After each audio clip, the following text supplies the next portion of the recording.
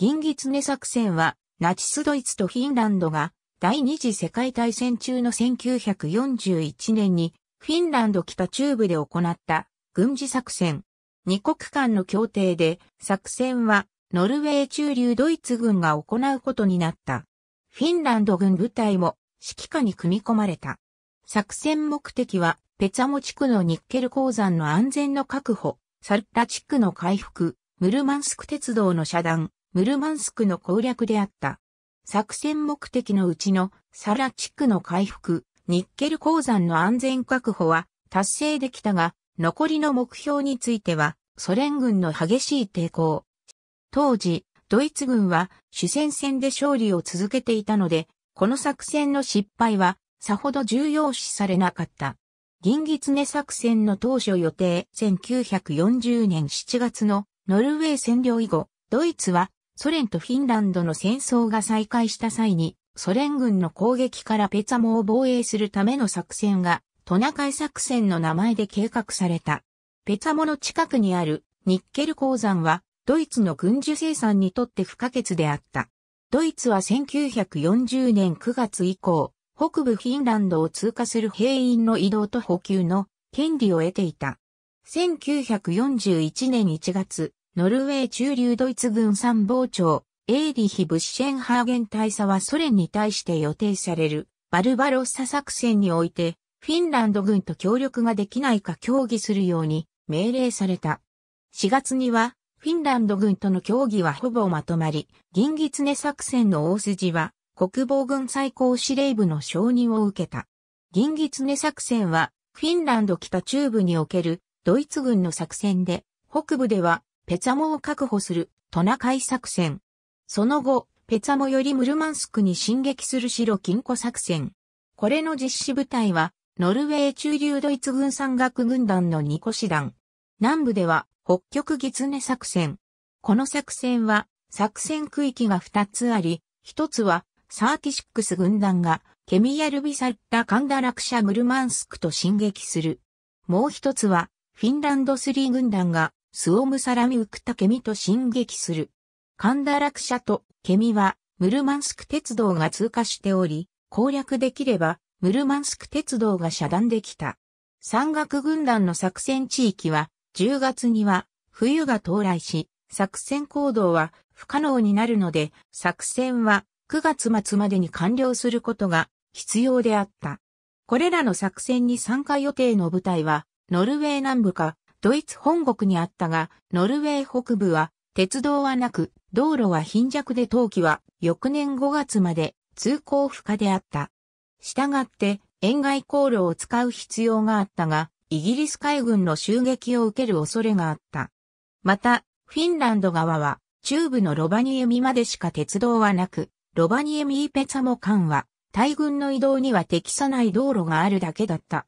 そこで、ドイツはスウェーデンと交渉して、ノルウェー南部からフィンランド国境まで第163師団などの鉄道移動を認めさせた。ドイツ本国にあったサーティシックス軍団司令部、軍団直轄部隊、第169師団のフィンランド領内への展開計画は青狐1、青狐2と名前を付けられ、1941年6月に始まった。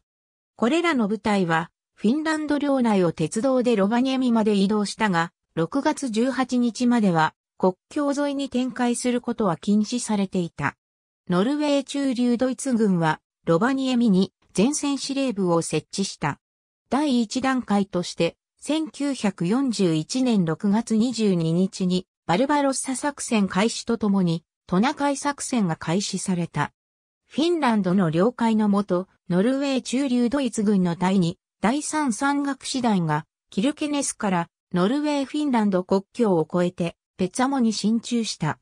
これらのドイツ軍の動きは当然、リューバチ半島のソ連軍に観測された。これらのドイツ軍は6月29日まで1940年のフィンランドソ連国境を越えないように命令されていた。ファルケンホルストとシーラスブを6月29日に作戦は開始され、山岳軍団は1940年国境を越えて東に進撃した。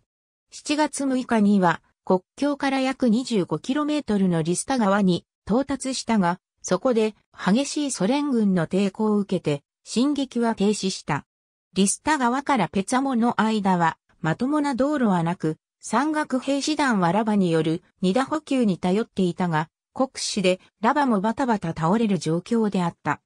ドイツ空軍の支援は全く不十分で、ソ連北方艦隊、ソ連空軍、ムルマンスク鉄道の活動を止めることはできず、ソ連軍のムルマンスクからの増援を止めることはできなかった。7月から9月の間に3回、リスタ側のソ連軍防衛線を破るための攻勢作戦が行われたが、消耗して補給不良の部隊はその目的は達成できなかった。ドイツ軍はこの作戦で1万300人の兵士を失った。10月の冬の到来を目前にして9月21日にファルケンホルストとディートルは作戦の打ち切りに合意し、奥井も追認した。白金庫作戦から遅れて、北極狐作戦が7月1日に開始された。サーキシックス軍団は最大攻撃を開始した。攻勢の目的は、皿を確保し、カンダラク社を攻略し、ムルマンスク鉄道を遮断することだった。サーキシックス軍団のドイツ軍部隊の中では、SS 戦闘団ノットは警察部隊を格上げしたもので、軍団司令部の判定では戦闘任務には不適切だと判定されたが、代わりの部隊はなかったので、作戦に投入された。サラ攻略の初日の戦闘で SS 戦闘団ノルドは大損害を受け前線任務から外された。